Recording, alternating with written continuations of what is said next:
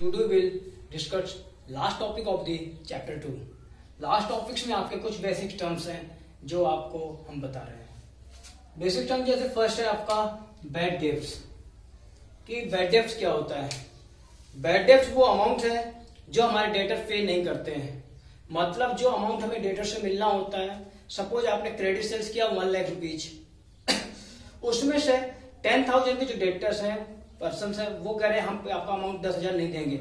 और केवल आपको नब्बे हज़ार रुपए दिया। जो दो दस हज़ार जो अमाउंट है, जो रिकवरेबल नहीं है, उसको क्या बोलते हैं? Bad debts so bad debts कह सकते हैं, उस अमाउंट को कहते हैं जो हमारा अमाउंट रिकवरेबल नहीं है। मतलब जिस अमाउंट को रिकवर नहीं कर सकते हम अपने कस्टमर से, उसको बोलते हैं बैड डेप्स सेकेंड है balance sheet balance sheet is the statement balance sheet is the statement which shows the financial position of the organisation मतलब कि बैलेंस शीट एक ऐसा स्टेटमेंट है जो शो करता है financial position of the business किसी भी बिज़नेस की फाइनेंशियल पोजीशन को जो शो करता है, वो आपका बैलेंस शीट है।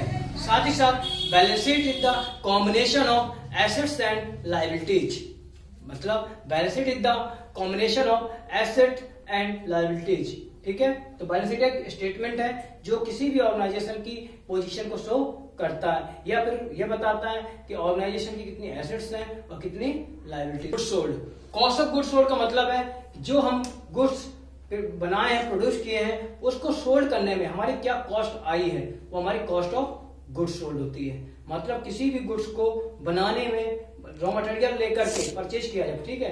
रॉ मटेरियल से लेकर के और उसको अंतिम जब सोल्ड किया जाता उस समय तक को लेकर के जितने भी हमारी कॉस्ट आ रही है, उसको हम बोलेंगे कॉस्ट ऑफ़ गुड सोल्ड जैसे मान लो हमने एक ये पेन बनाया तो पेन को लाने से जब से स्टार्टिंग किया, वहाँ से लेकर के सोल्ड करने की कंडीशन तक जितना भी कॉस्ट लगेगा, वो हमारी कॉस्ट ऑफ़ गुड सोल्ड इसको सीओजीएस भी कहते हैं. फिर आपका आता है डेप्रिसिएशन डेप्रिसिएशन का मतलब होता है reduction in the value of assets. Any type of reduction in the value of assets. मतलब कि assets की वैल्यू में कमी हो जाना डेप्रिसिएशन कहलाता है। मतलब कि जो हमारी एसेट्स हैं, उनकी वैल्यू में जो कमी आ जाती है, जैसे हम लाए एक बिल्डिंग वो सॉरी एक फ्रिज लेके आए तो क्या होता है कि फ्रिज जब हम एक साल तक यूज़ करते हैं, उसके बाद उसकी वैल्यू क्या होती है कम हो जाती है। तो क्यों कम हुई? क्योंकि by using of goods sorry assets तो मतलब है कि जब भी एसेट्स की वैल्यू में रिडक्शन होता है, उसको हम डेप्रिसिएशन बोलते हैं। इनका सब आप लोग डिस्कस एक्सप्लेनेशन जो है, वो सभी के टॉपिक्स चैप्टर है, उन पे डिटेल से पढ़ेंगे। फिर आपका आता है बुक वैल्यू बुक वैल्यू का मतलब होता है कि बिज़नेस में जो भी आइटम्स हैं, वो जिस अमाउंट में शो किए जाते हैं, जिस अमाउंट में क्वांटिटी सॉरी अमाउंट में शो किए जाते हैं बुक में, उसको बोलते हैं बुक वैल्यू। मतलब कि बिज़नेस की बुक में आइटम जिस वैल्यू पे शो की जाती है, उसको बोलते हैं book value. Books of account. Books of account का मतलब होता है कि जो हमारे ट्रांजेक्शन है, वो जहाँ पे रिकॉर्ड होते हैं, उनको बोलते हैं बुक्स ऑफ़ अकाउंट। जिस जिस बुक में रिकॉर्ड किए जाते हैं, उनको बोलते हैं बुक्स ऑफ़ अकाउंट। जैसे cash book, journal, sales book, purchase book, ये सभी आपकी बुक्स ऑफ़ अकाउंट है। क्रेडिट और डेबिट। अकाउंट का जो लेफ़्ट साइड होता है वो होता है आपका डेबिट और जो क्रेडिट साइड होता है, वो होता है क्रेडिट सॉरी राइट जो लेफ़्ट साइड होता है, वो आपका डेबिट होता है और जो राइट साइड होता है, वो आपका क्रेडिट होता है, ठीक है?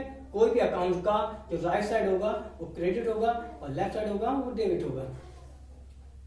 इंटिटी इंटिटी मतलब होता है ऑर्गेनाइजेशन किसी भी ऑर्गेनाइजेशन को ही इंटिटी बोला जाता है। किसी भी इकोनॉमिक यूनिट को इंटिटी कहते हैं। रिसिप्ट रिसिप्ट का मतलब होता है कि कोई भी अमाउंट जो रिसीव होना है हमने गुड्स सोल्ड किया है एसेट सोल्ड किए है, उससे जो अमाउंट रिसीव होता है, उसको बोलते हैं हम रिसिप्ट रिसिप्ट आपकी दो तरीके से होती है रेवेन्यू रिसिप्ट और कैपिटल रिसिप्ट रेवेन्यू रिसिप्ट का मतलब होता है, जो हमने गुड्स सोल्ड किए होते हैं, उन इन्वेस्टमेंट सोल्ड किए होते हैं शॉर्ट टर्म इन्वेस्टमेंट उनको आप बोलते हैं रेवेन्यू रिसिप्ट और कैपिटल रिसिप्ट होता है, जो हमने लॉन्ग टर्म के एसेट्स हैं, या शेयर हैं, उनको सोल्ड करने पे जो हमें रिसिप्ट मिलती है, उनको बोलते हैं कैपिटल रिसिप्ट क्रेडिट और डेबिट सिर्फ़ क्या है आपका?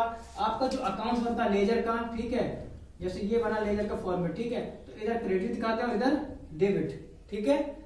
ये चीज़ है। तो मतलब है कि क्रेडिट डेबिट सिर्फ़ क्या है? आपके अकाउंट के साइड है, जो हमारे साइड बताते हैं, ठीक है?